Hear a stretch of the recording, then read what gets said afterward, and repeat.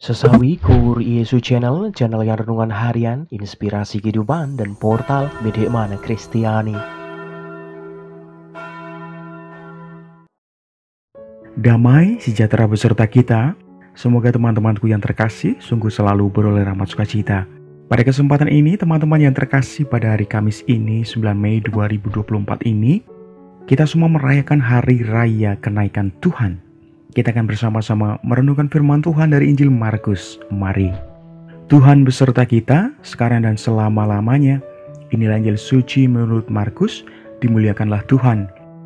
Pada suatu hari, Yesus yang telah bangkit dari antara orang mati menampakkan diri kepada kesebelas murid dan berkata kepada mereka, Pergilah ke seluruh dunia, beritakanlah Injil kepada segala makhluk.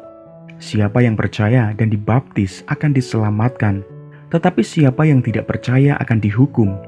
Tanda-tanda ini akan menyertai orang-orang yang percaya. Mereka akan mengusir setan-setan demi namaku.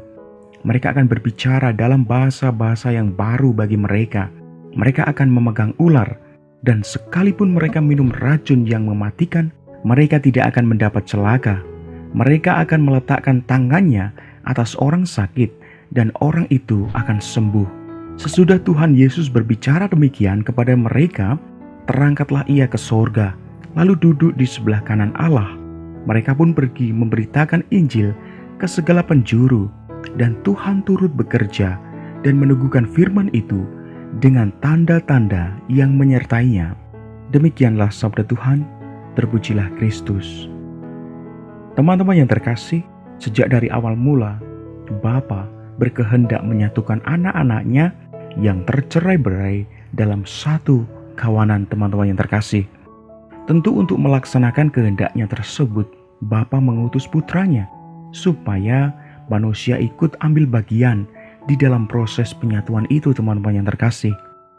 Bapa dapat saja menyatukan manusia tanpa melibatkan mereka loh. Tetapi hal itu bertentangan dengan sifat alami manusia yang membutuhkan waktu berproses untuk mencapai sebuah tujuan teman-teman yang terkasih.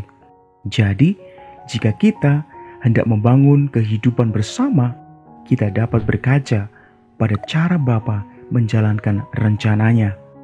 Teman-teman yang terkasih, Injil menghargai perbedaan. Kita semua diutus mewartakan Injil tentang Yesus Kristus yang sungguh rendah hati, lemah lembut, dan sabar.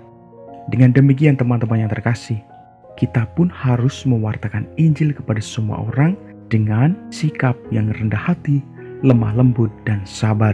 Jika kita tidak sabar serta rendah hati, bukan kehendak Allah yang kita jalankan, melainkan kehendak kita sendiri. Amin. Kita tutup renungan singkat ini dalam nama Bapa dan Putra dan Roh Kudus. Amin. Tuhan Yesus, datanglah segera dan tinggallah bersama kami Amin. Dalam nama Bapa dan Putra dan Roh Kudus. Amin. Terima kasih banyak teman-teman yang terkasih. Hidup kita penuh berkat, hidup kita penuh sukacita, hidup kita penuh kesejahteraan, hidup kita penuh perlindungan. Yang gelap diberikan terang, yang buntu diberikan jalan. Sampai jumpa di renungan hari yang besok selanjutnya. See you later.